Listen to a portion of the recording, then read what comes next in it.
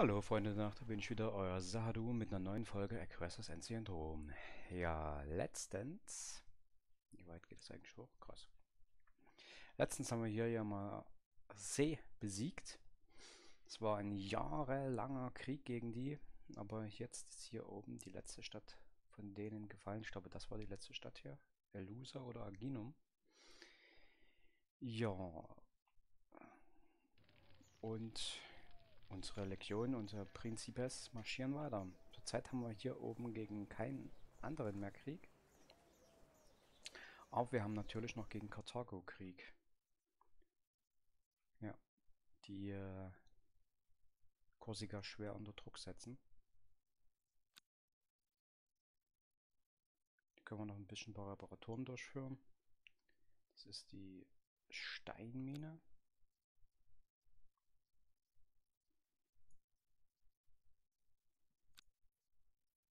Der Rest läuft. Ne, doch noch nicht. Hier. Aha. Die Stadt, die wir erobert haben, muss repariert werden.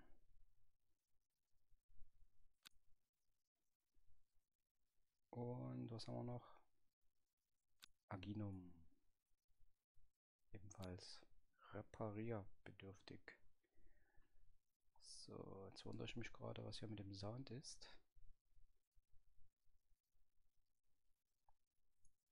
Bisschen leiser. Für uns war es übelst laut. Jetzt ist es übelst leise. Was ist da los?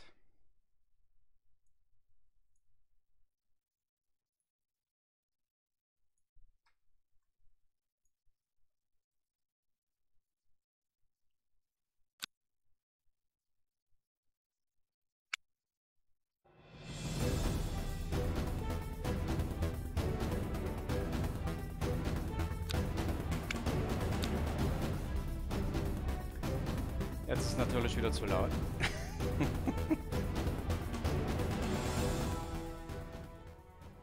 so. Passt. Ja, können wir eigentlich weitermachen. Unsere Flottenproduktion läuft ja auch noch auf Hochturm.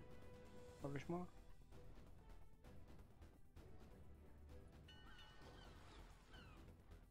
Ja. Wird noch alles produziert. Und dann machen wir einfach mal eine Runde weiter.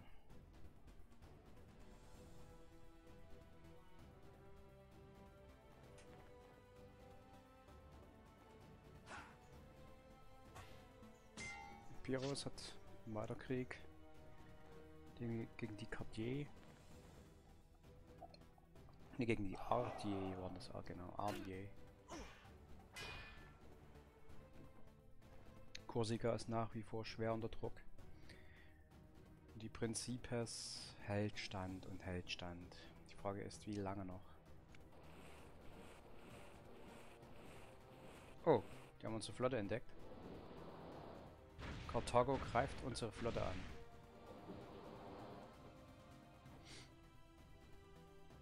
Aber wir haben gewonnen. Dreier, Fünfer Angriff. 7,1er Verteidigung. Sehr gut. Jetzt haben sie unsere Flotte entdeckt. Können wir theoretisch auch aus der Adria auslaufen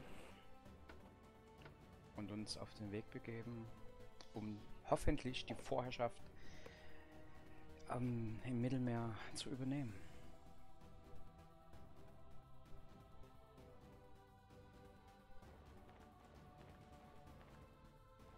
Imperischen Stämme.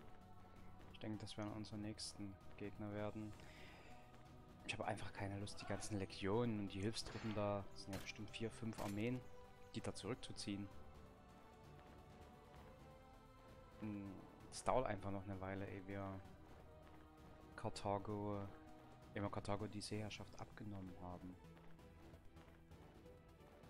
Ja, die Kelten haben sich ganz schön ausgebreitet. Mama mia. Krass. Die massieren ganz schön viel Truppen an unserer Grenze. Gefällt mir überhaupt nicht. Könnten wir auch erstmal noch mal kurz abwarten, bevor wir den iberischen Stämmen den Krieg erklären. Ptolemäer Empire will, dass wir einen Frieden beenden mit Athen. Nö, machen wir.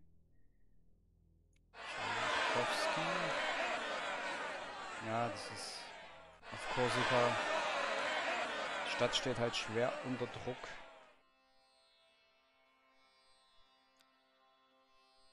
Das wird repariert. Alles gut, alles fein. Sind das freie Städte? Ne, das sind schon die iberischen Stämme.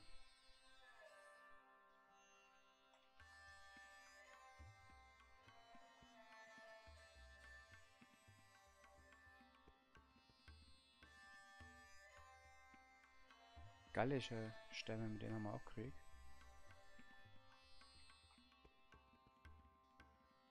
Hier ist schon Karthago. Also uns ist eigentlich nur noch sind eigentlich nur noch die iberischen Stämme im Weg. Und dann kommt es halt darauf an, was die Kelten machen. Wenn die uns dann ja auch noch einen Krieg erklären, sind wir im Drei-Fronten-Krieg. Iberische Stämme, Kelten und Karthago. Deshalb warten wir dann hier erstmal noch kurz ab. So, jetzt schauen wir uns hier mal die Triorime an.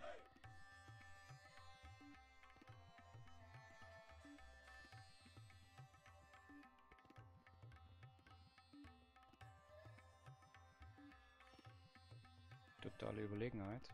Greif mal an.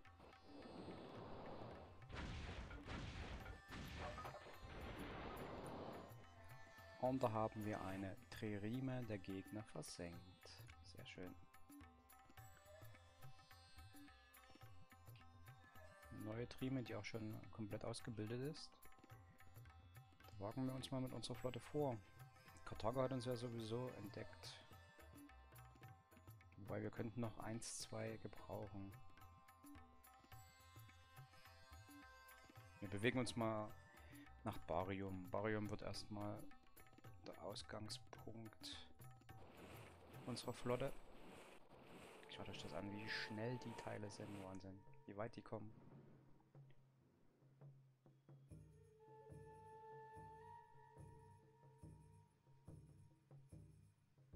Schlafen gehen. Ach ja, Ewa. Ähm, skippen also und aussetzen eine Runde.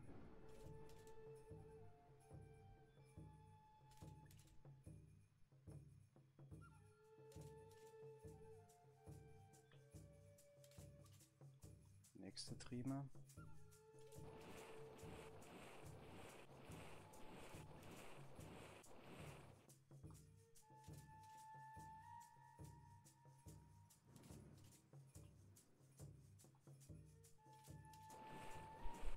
Vorwärts.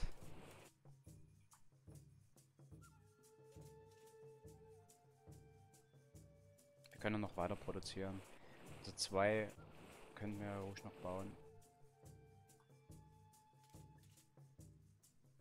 Die lassen wir erstmal hier. Das ist die Galeere. Der Siedler, mit dem haben wir hier ein Feld gebaut.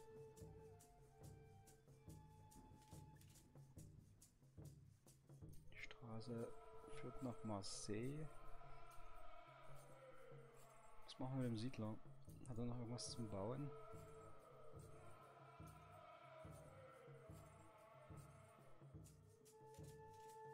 Ja, wir können die ganzen Minen noch anbinden. Das wir es hier halt auch gemacht haben.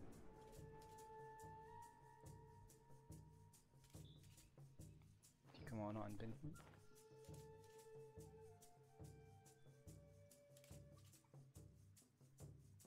Prinzipes ist fertig. Die hatten wir ja stehen, weil wir Angst hatten, dass die uns hier über... Ah, Alerias gefallen. Ist einfach ähm, wieder übergelaufen. Scheibenkleister. Aber kann man nichts dran ändern. Ein Grund mehr, dass wir die Truppe erstmal hier stehen lassen. Äh, mal gucken, was die mit den Bodenarmeen machen werden. Karthago. Die müssen wir ausheilen lassen. Da lohnt sich sogar mal ein Selfheal rauszuballern. Naja, ein Selfheal sage ich schon, so einen anderen Heal. So einen guten Heal, aber können wir gar nicht machen. Warum nicht? Vielleicht in der Stadt.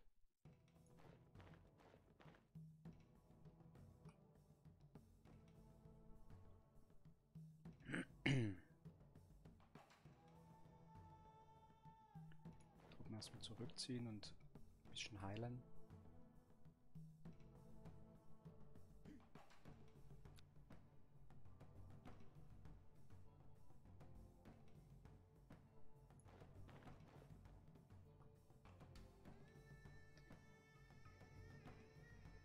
Hier hatten wir, glaube ich, eine Invasion zurückgeschlagen, der Karthager.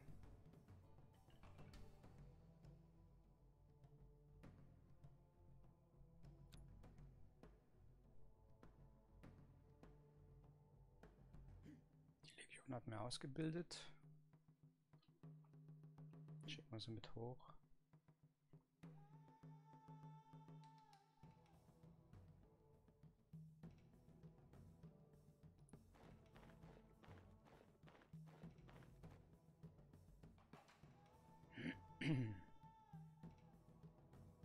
Die Stadt kann man erkunden. Nö.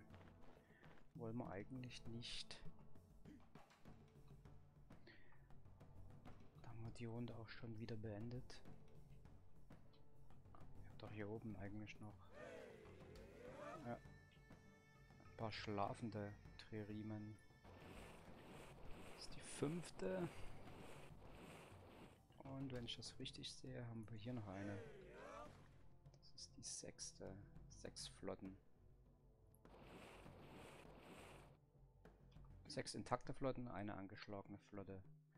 Sind noch welche im Bau? Das würde mich interessieren. Ich glaube, es sind keine mehr im Bau. Nein. Hm, Menschen haben wir genügend, Eisen haben wir genügend, Holz, ja, sieht auch noch gut aus. Gold. Geht schon noch. Wir brauchen die Flottenüberlegenheit. Wunderbar. Können wir die Runde beenden. Mal schauen, was Karthago unternimmt. Und vor allem die Kelten, die da oben ganz schön Bodentruppen massiert haben. An unserer Nordgrenze. Epiros geht, geht, geht weiter gegen Artier vor.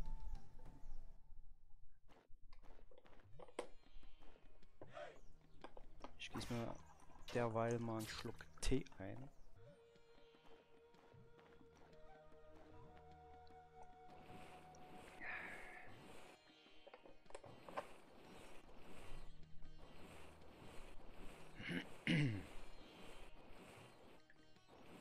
Noch könnt ihr schön durchs Mittelmeer kreuzen, ihr Karthager.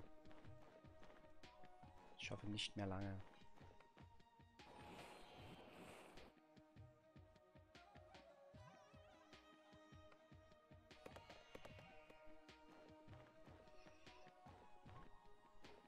Athen und Sparta sind jetzt eigentlich in Südgriechenland so die dominanten zwei Völker.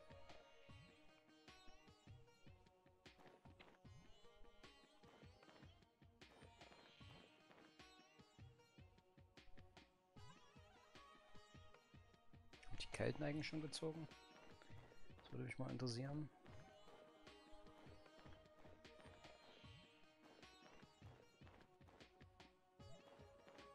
Jetzt sind sie dran.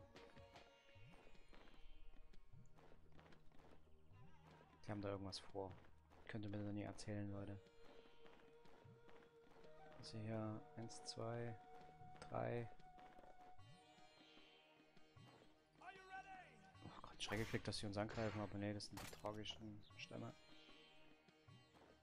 Die ziehen 3, 4 Bodenarmeen Richtung Gallien. Die Kelten.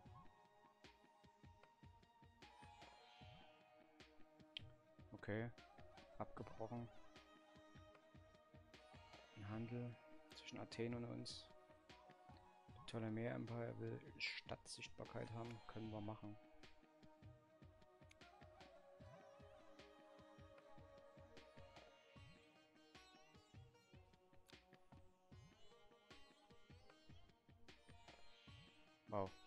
Sich ja ganz schön gemausert hier. Sind das alles? Das sind alles ptolemäische Städte. Die haben komplett Kleinasien übernommen.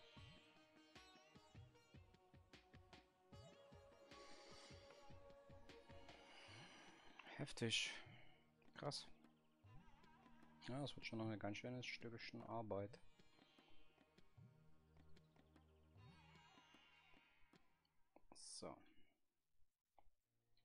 Wir noch auf die zwei hier? Ne, wir ziehen raus. Wir haben sechs Flotten und eine angeschlagene. Auf geht's.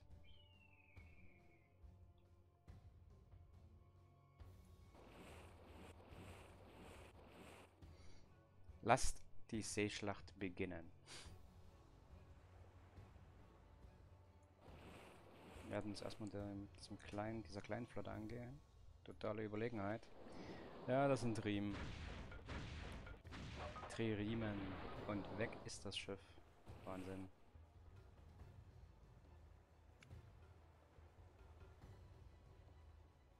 Das ist die eine Galeere, die ja abgeschnitten rumliegt abgeschnitten von allen anderen. Wir werden Hilfstruppen an die Nordgrenze beordern, falls die Kelten irgendwie auf dumme Gedanken kommen sollten. Hier oben haben wir glaube ich auch schon Hilfstruppen stehen. Na, ist sogar eine Prinzipes.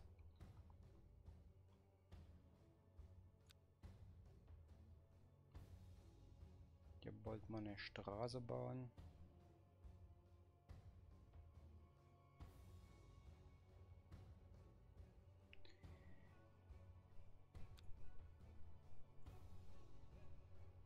Aha, haben wir schon. Sehr gut.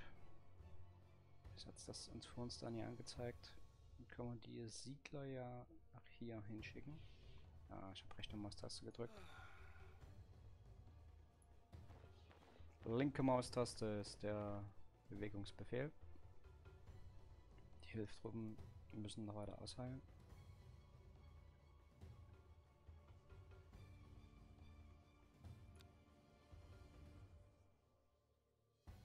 Ebenso die Prinzipes.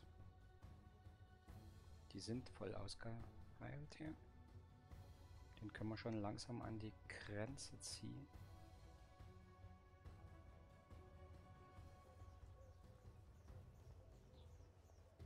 iberischen Stämme hier oben.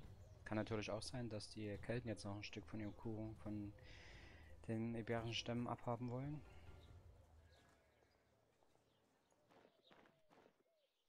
Eine frische Legion, die muss noch ein bisschen heilen.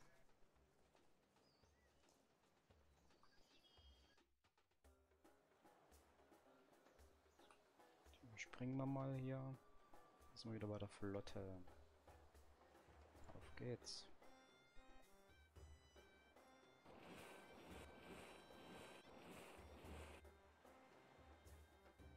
Ausgeglichene Chancen. Greifen wir an.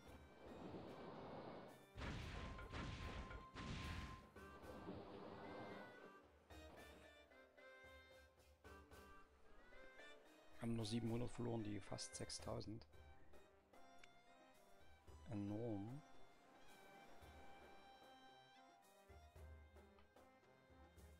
kommen wir nicht...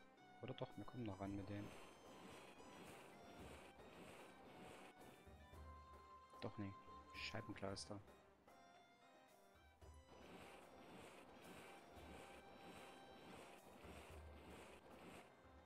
Die angeschlagene, aber wir haben mit der angeschlagenen noch eine Vierer An Angriff.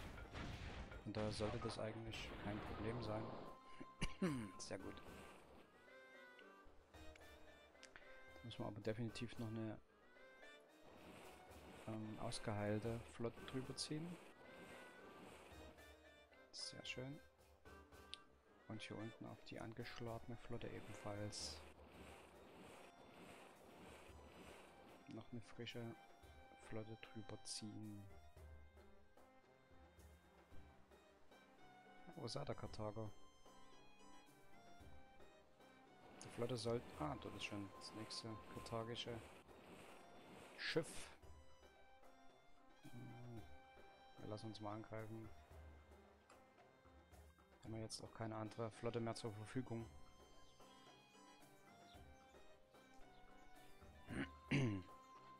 Wir ziehen jetzt mit dieser Principes gen Iberische Halbinsel.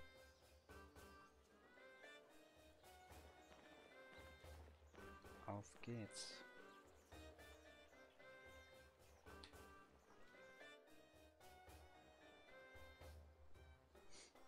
Da ist eine Armee drauf. Ja, wir sind gespannt, wie die Seeschlacht weitergehen wird. Freunde der Nacht.